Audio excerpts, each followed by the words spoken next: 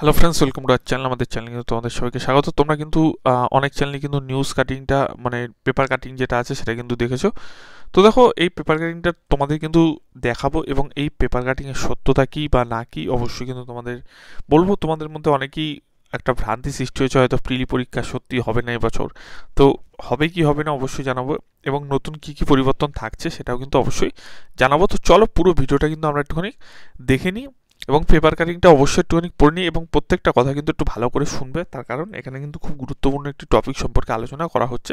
তার কারণ তোমরা কিন্তু অনেক চ্যানেলই দেখেছ এবং সেই কারণে কিন্তু আমি তোমাদের কিছু কিছু জিনিস কিন্তু বলে দিচ্ছি। দেখো, এই পেপার কাটিংটা আমি একটুখানি কেটে কেটে এভাবে সাজিয়েছি। তো দেখো, সেখানে বলা হচ্ছে কনস্টেবল পদে নিয়োগ দ্রুত করতে চাইছেন রাজ্য পুলিশ কর্তারা। এই জন্য প্রাথমিক এবং মূল লিখিত পরীক্ষার বদলে একটি লিখিত পরীক্ষা করতে গত মাসে প্রস্তাব পাঠানো হয়েছে নবান্নে। সূত্রের খবর, কনস্টেবল পদে বারো হাজার নিয়োগ হবে ছাড়পত্র মিলেছে মন্ত্রিসভার। তা দ্রুত শেষ করতে দুটির বদলে একটি পরীক্ষা করতে চাইছেন পুলিশ কর্তারা। নবান্ন সূত্রের খবর, বর্তমানে কনস্টেবল নিয়োগে প্রাথমিক লিখিত পরীক্ষা হয়।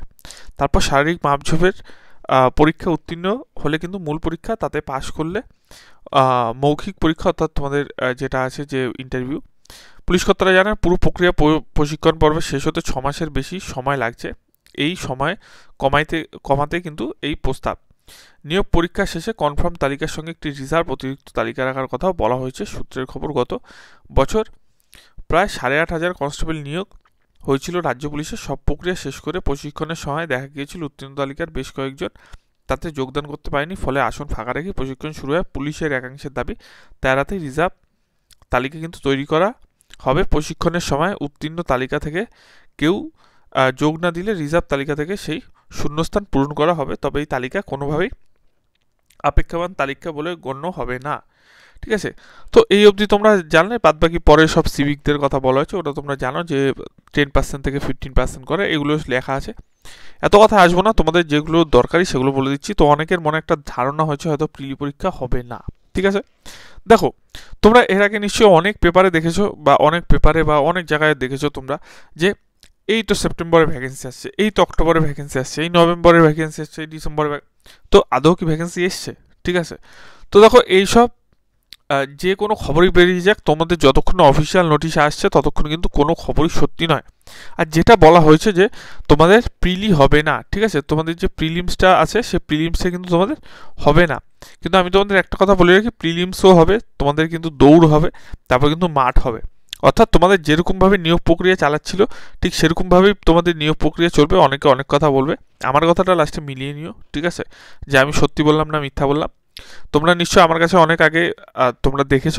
আমার কথা কিন্তু মোটামুটি সবই যেগুলো বলি সবই কিন্তু অথেন্টিক মোটামুটি ঠিকঠাক হয়। তো সেক্ষেত্রে বলে রাখি, তোমাদের কিন্তু প্রিলি পরীক্ষা কিন্তু অবশ্যই হবে। তো প্রিলির জন্য কিন্তু কোনো রকম কোনো জায়গায় পা দেবে না, ঠিক আছে? কোনো ভুল ভ্রান্তি ধারণায় কিন্তু পা রেখো না। যেটা তোমরা পড়াশুনো করছ, সেইভাবে পড়াশুনো চালিয়ে যাও। তোমাদের একটাই কথা বলব, তোমাদের কিন্তু প্রিলি পরীক্ষা যেমন হচ্ছে, সেই প্রিলি পরীক্ষা হবে। প্রিলি পরীক্ষার সঙ্গে সঙ্গে তোমাদের কিন্তু তোমাদের কিন্তু প্রিলি পরীক্ষার সঙ্গে সঙ্গে তোমাদের কিন্তু মেন্স পরীক্ষা হবে এবং যেরকম যেরকমভাবে নোটিশ তোমাদের, তোমরা দেখেছ যে যেরকমভাবেভাবে সিলেবাস চেঞ্জ হচ্ছে সেরকমভাবেই হবে। অর্থাৎ ইংরেজি কিন্তু মেন পরীক্ষায় দশ দশ করে আনা হবে। তো সেই ক্ষেত্রে এগুলো একটু মাথায় রেখো, ঠিক আছে? যেভাবে প্রিপারেশান নিচ্ছ প্রিপারেশান না আর অনেক এখানে বলা হয়েছে যে প্রিলি পরীক্ষা যদি না নেয়, সেক্ষেত্রে কিন্তু মানে প্রিলি পরীক্ষা নেবে না, অর্থাৎ মেন হবে আর দৌড় হবে। তো- তোমরা এর আগে জানো যে আগে কিন্তু প্রথমে দৌড় হতো এবং দৌড়ের পর কিন্তু তোমাদের মানে মেন পরীক্ষা হতো। অর্থাৎ মেন পরীক্ষা বলতে একটাই পরীক্ষা হতো, তারপরে কিন্তু ইন্টারভিউ হতো। তো সেই ক্ষেত্রে এত কিছু তোমাদের জানা বা অবশ্যই কিন্তু দরকার আছে, সেক্ষেত্রে তোমাদের একটাই কথা বলব। তোমাদের কিন্তু প্রথমে যেটা হবে, প্রিলি হবে, মাঠ হবে, তারপরে কিন্তু মেন পরীক্ষা হবে, যেরকমভাবে চলছিল আশা করি সেরকমভাবেই হবে। তো ভিডিওটি দিয়ে যদি কোনো ইনফরমেশন লাগে, অবশ্যই চ্যানেলটি সাবস্ক্রাইব করে পাশে থাকা বেলাইকনটি কিন্তু ক্লিক করে সম্পূর্ণ ভিডিও দেখার জন্য কিন্তু